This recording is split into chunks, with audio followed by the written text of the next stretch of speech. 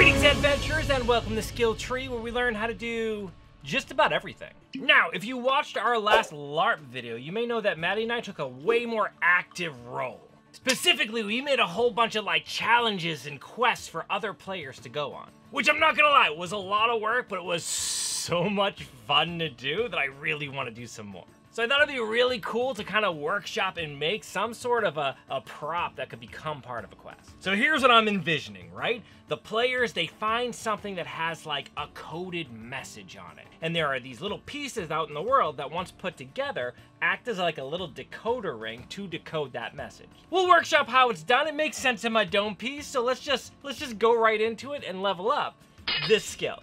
Okay, so the thought here is, is making some sort of an ancient artifact of sorts that can like decode somehow. Now my first thought here is to cast this thing out of metal, but if you know my history with casting so far, see this episode here, you'll know that it isn't, hasn't been good. It's one of the few skills that have, have beat me so far and hurts my soul. And I was determined to try to make this work today. Notice, this is ominous foreshadowing. But the first thing I need to do to get that done is to make a mold of some sort. But to make the mold, I first need to actually make the thing, like make a template of the thing that I can then cast into that mold. Now you can make this out of anything you want. You can do it out of clay, which would probably be the easiest way to do it. But in that first episode where I tried to cast metal, I had made something with my 3D printer and I really want to make that work. Luckily with today's sponsor, AnkerMake, I have a second chance at redemption. They sent me a shiny new AnkerMake M5 3D printer to test out. Now, I was a little on the fence with this because the last few projects I had anything to do with a 3D printer was such a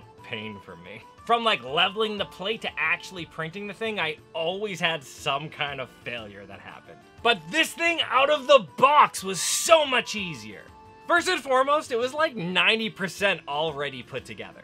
The only things I actually had to put together were the top extruder assembly to the bottom plate.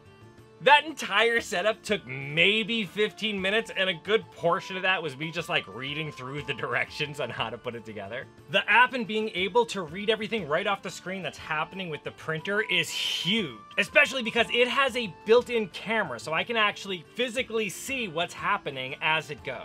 Also, can I just say the fact that this thing like self-levels is so mint. That was the hardest process for me to master with my other thing, and the fact that this does it just all by itself is just...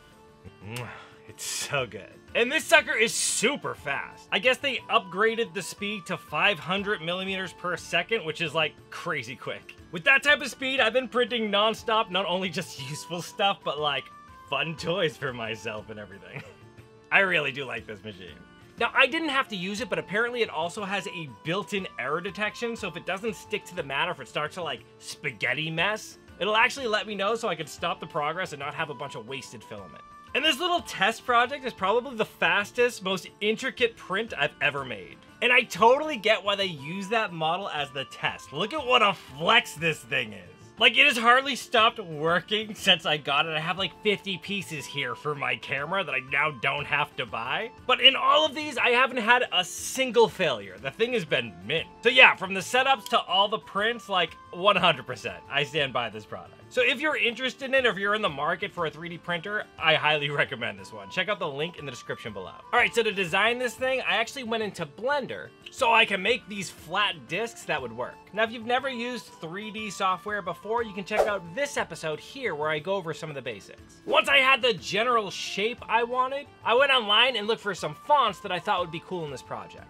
I ended up going with a runic font that I thought would be cool for like the coded message. And then of course I added on the regular alphabet as well. Both of which I randomized just to make it a little bit more fun. So it didn't go in the order of like A, B, C, D, E, F, G. Like it was all over the place. So that when you're decoding it, you're really gonna have to search. I want it to be a fun kind of mission. I also found a 3D print file on Thingiverse that was a Viking brooch kind of thing. That I just stuck right on top of the little disc here to make it decorative. Finally, I added this decorative border all around the edge of my disc. I know there's a cursory overview. I mean, if I was to teach you Blender, that would be a whole thing by itself, and that's probably not why most of you are here. But I'll leave links on the YouTube channel that I use to learn this program in the description below. Anyways, once I was happy with those files, I just brought them over to the slicer that comes with the AnkerMake and got this bad boy to printing.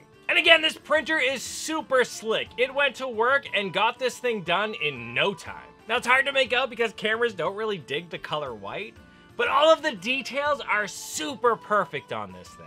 All the lettering and the scroll work on the top part, it just, it looks so good. And honestly, if you didn't care about like the weight or the feel of the thing, you just kind of wanted a general look, you could probably paint this up as is and make a pretty cool prop. But I want this thing to be like weighty. I want it to feel like it's like an ancient thing.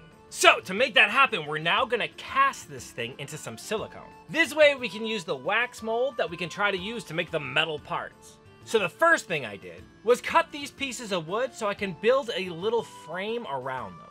Once they were in position, I used a clamp to hold them tight, and then reinforce those edges with a little bit of duct tape. We want to be able to take this mold apart once we're done, so we don't need it really secure. Then to add a bottom, I just place it on another piece of plywood. Now, though we want to be able to take this thing apart so it doesn't need to be like all screwed together, we don't want any of the product, like the silicone we're gonna pour into this thing, to seep out. So we're gonna need to seal up the edges. To do this, I just added a bead of hot glue all along the joints. I also added some where the walls meet the floor just to make sure there's no way for any of the silicone to seep out. I've had is issues in the past with silicone seeking out. It is not fun. Finally, I added a little bit of hot glue to the bottom of my 3D prints just so they won't move around. Remember, a 3D print is mostly full of air, so I was afraid it was gonna kind of float to the surface if I wasn't careful. All right, so the silicone I'm gonna be using for this is a two-part product named Dragon Skin.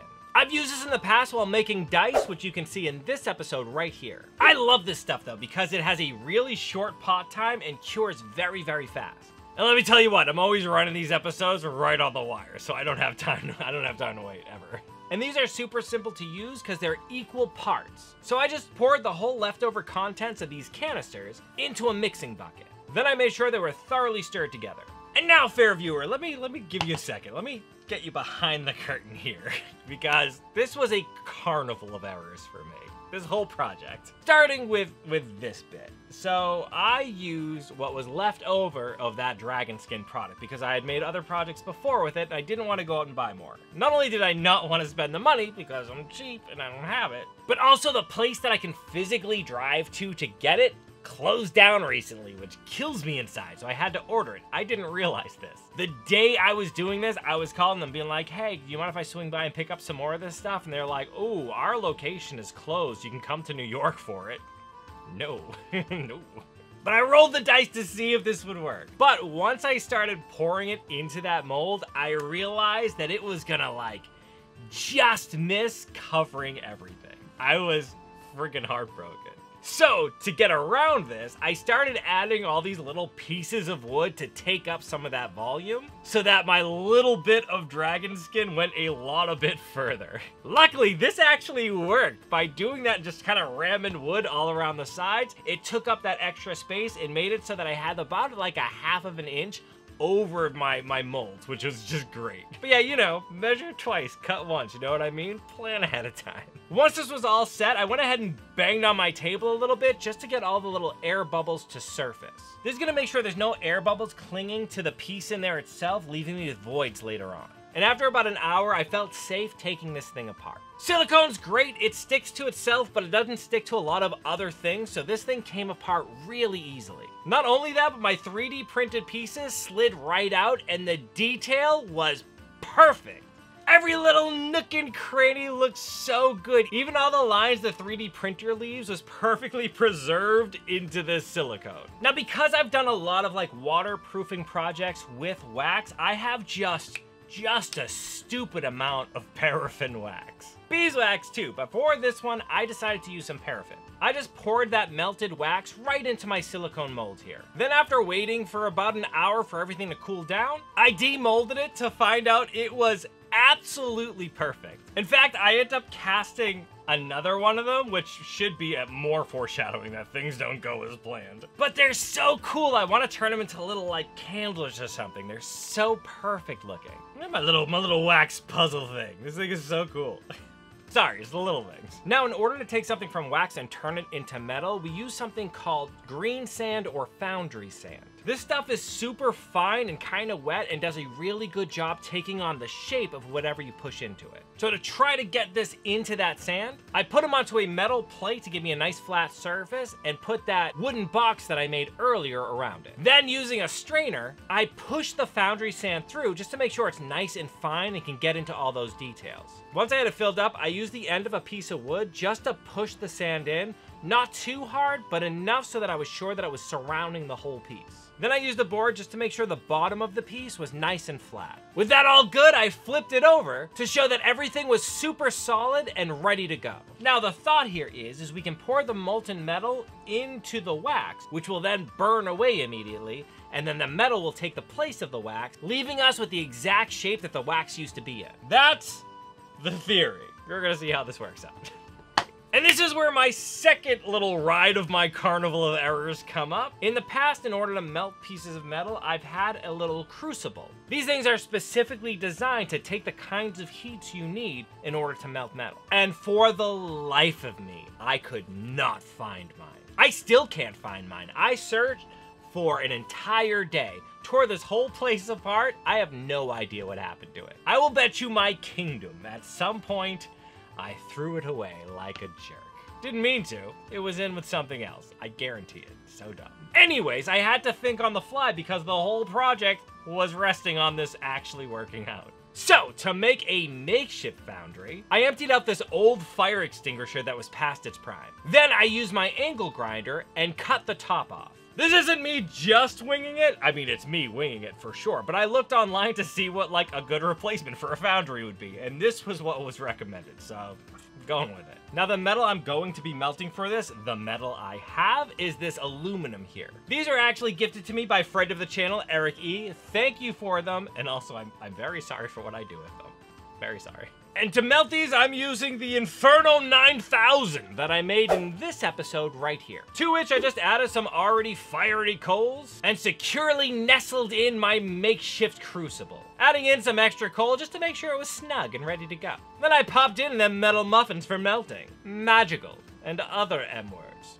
You get it. Okay, prepare yourself for just, just some epic some epic failure. So the last time I did this, and the last time I've seen it done, the wax, once the metal hits it, just friggin' burns away. It, it disappears. I don't know if paraffin wax is the wrong wax. I don't know if there's just too much of it in this mold. But as soon as my molten metal hit it, yes, it burst into flames, but it just kind of skittered across the top. And then I couldn't see it because the angle I was at, the, the, the, canister was actually like covering my, my line of sight. But the melted aluminum just kind of drifted along my driveway.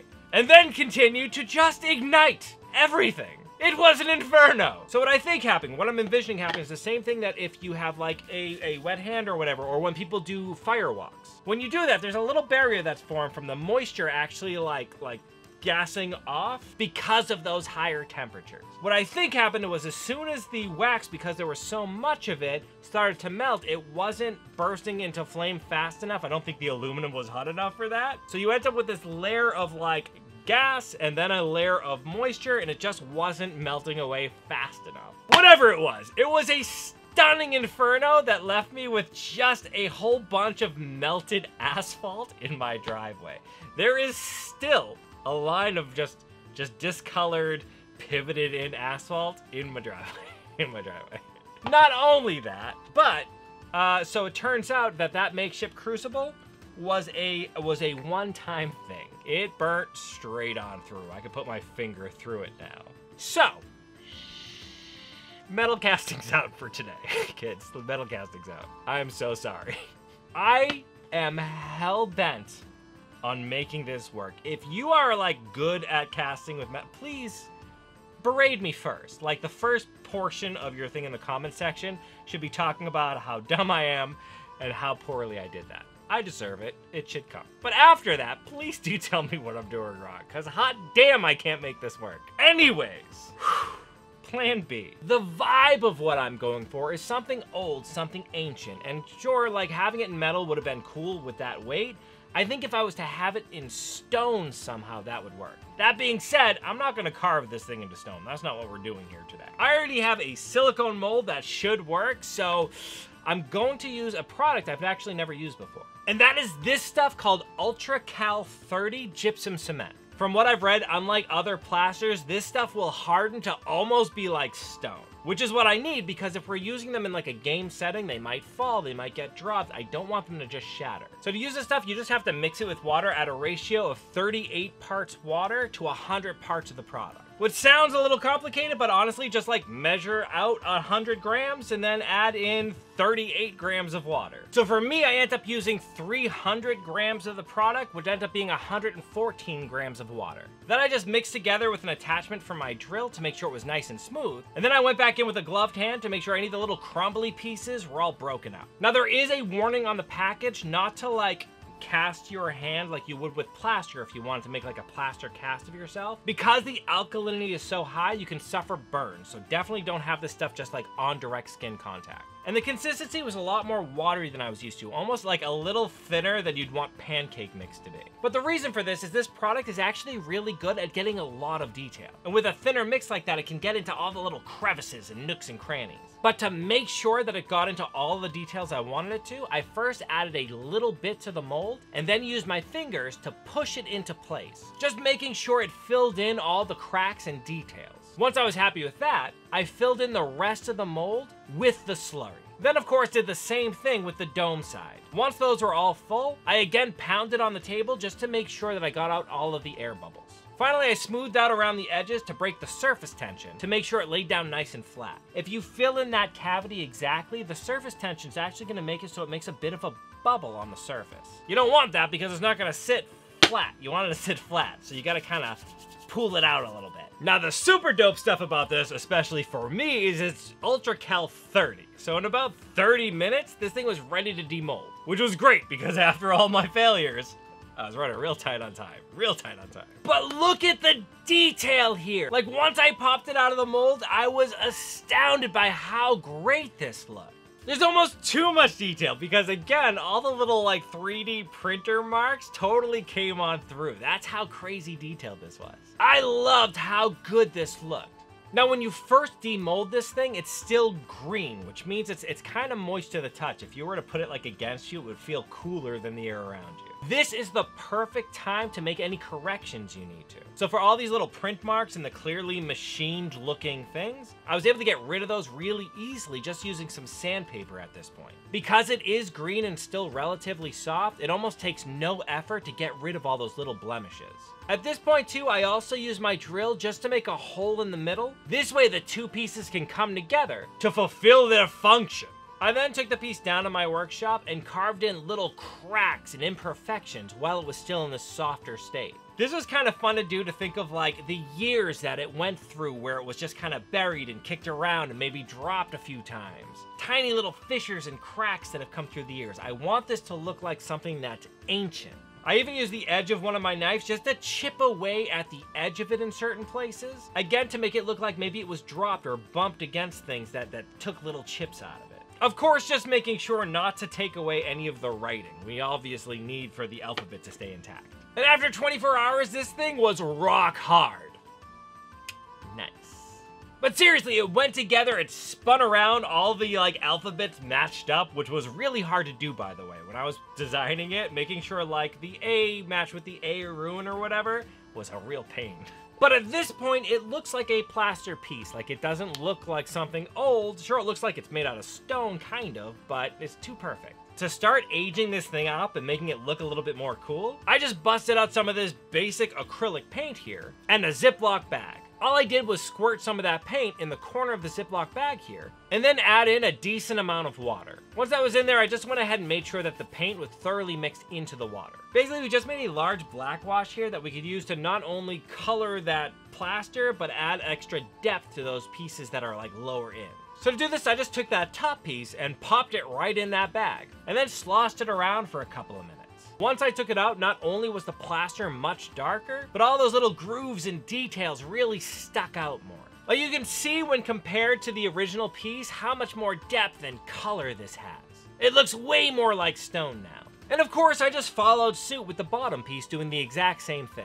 And once all the excess wash was wiped away, This thing actually really looked like stone. Those little cracks stuck out well. Everything looks so good. Now this thing is starting to look like an ancient artifact of some sort. Now to add a little bit more detail and life to this thing, I went ahead and poured out some white paint on a piece of cardboard, and then after dipping my brush in it, wiped almost all of it away. Doing this makes it so that I can dry brush some of that white on all of the raised pieces of it, which bring those way more to the surface and send those darker areas back. This just gives the whole thing a lot more volume and personality. It also added kind of this marbling effect that I really dig. That being said, I want this to look like it's part of a culture that maybe in the past is like really glorious. Just hints at a former glory, you know what I mean? So for that, I thought I'd add some like gold to it. Again, just adding some gold metal paint by dry brushing it onto all those raised areas. And this ends up being a really great technique for this. All of the ornate scroll work took on just a little bit of a golden shine, as did the raised letters and the filigree along the sides. Now it looks like there was a former glory to it, right? Like it, it was beautiful at one point, and then throughout years and years it's been buried in the ground or something and it's gotten more worn away. For one last thing, I really wanted to make this look like it was a lost artifact, so I wanted to add some like grime to it, maybe some, some moss. So to do that, I decided to use this battlefield steppe grass made by army painters. This is the stuff that people use when they make like small models like dioramas or maybe D&D kind of like staging. Just to make it look like there's grass or there's moss. And to apply it, I'm just gonna use some plain old Elmer's glue. This I just painted onto the areas that I thought some moss would look good, and then sprinkled some of that battlefield grass stuff right into place. After giving it a few minutes to cure, I went back in with a paintbrush and just brushed away all of the excess material. Doing this left me with a really nice, old-looking piece. And once together, look at how dope this thing looks. It looks like an ancient little artifact. Like, can you imagine you're on a quest of some sort and you find this piece somewhere and it looks like it's old and worn and made out of stone. And then later on you find this piece and you realize the two pieces, they look similar and they go together. And from there, you can crack the code on the ancient document that has the secret to where the treasures lie or something. Oh, I love that. That is so cool. It's such a dope, like, Legends of the Hidden Temple little prop, and I love it. I think this would make a fun quest for somebody during a game.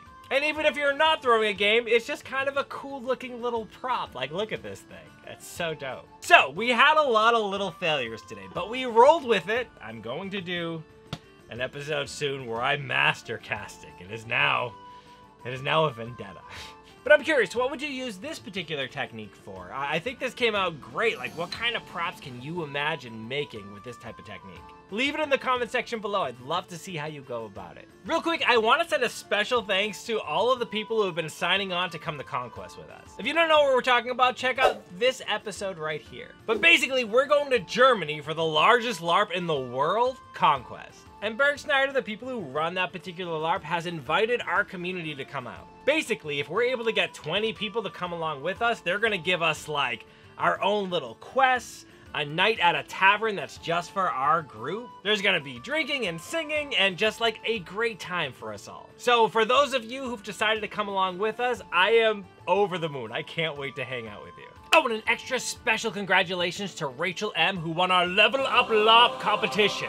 In the last level, everybody had to write some backstory about their character and how they actually get to Conquest. Rachel went ahead and made a whole, like, choose your own adventure. It was really cool. That being said, all of the contestants did some amazing stuff. I'm so incredibly, like, impressed with everything you guys came up with. And though this competition is over, stay tuned because we're doing a lot more work with Burgschneider and we've got some really great stuff up ahead. Finally, I told y'all I would pick one of you to send like some really nice pieces of scrap leather to. So today we're gonna pick that winner. So the winner is Kyle Weaver 9283. Congratulations on winning some scrap leather. But that's not all, because I've decided since I made you wait a couple of weeks, I'm gonna pick two winners.